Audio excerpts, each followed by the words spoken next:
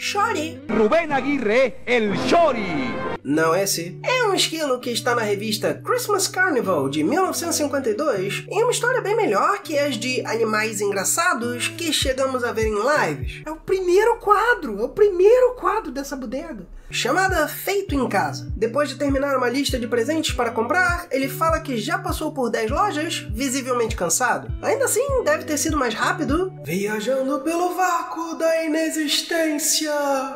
Naí, tá na hora de acordar. Aliás, ele tá numa mancha azul e limpando suor. É para tudo isso ser água dele? Como ele não caiu pro lado, desidratado? De gigantesco do lado de fora de uma loja, ele parece menor dentro dela, olhando para um barco. E aí é expulso e está gigantesco de novo. Esse mundo opera como aqueles RPGs antigos. Fora de um lugar, ele parece menor. Ele foi expulso por tentar comprar um barco com 1 dólar e 75 centavos, que parece ter o poder de compra de 20 dólares hoje. Eu sei que essa era uma piada comum, só me parece algo que nunca aconteceria. Quase como se o autor estivesse apontando para alguém e dizendo que, por ser pobre, quer dizer que também é burro. E dá vontade de ver ele na frente do Minotauro. Contrastando com isso, o diminuto compra um livro sobre como fazer um barco, começa a construir, vem uma tempestade que escurece só ele, com um raio perfeitamente diagonal, aliás. Mas ele sobrevive. Afinal, só durou um quadro. E aí coloca uma âncora num pedaço de madeira. Eu espero que seja intencional. Piada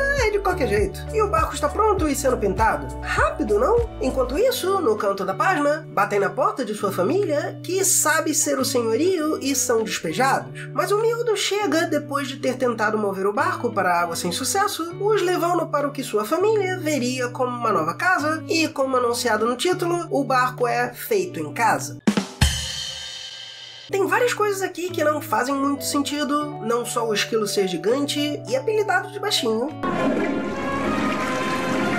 Mas ter um barco dentro de uma loja, construir um barco no meio do campo, grande o bastante para servir de casa para todos no que parece ser menos de um dia, e com material que não custou nem 2 dólares, além do Changeling Face involuntário. Aliás, eles todos passam pelo mesmo evento quando se encontram. É algum tipo de esquilo que muda de tamanho e rejeita a luz quando se emociona algo assim. Por outro lado, eu gostei de quão simples a história é. Sou um personagem cartunesco, posso fazer o que quiser, e mesmo nos meus erros, ainda consigo salvar minha família. Mesmo sendo um pouco bobo, ainda me há um final feliz. Por um terceiro lado, aquele cachorro e garça devem estar fugindo até agora. Muito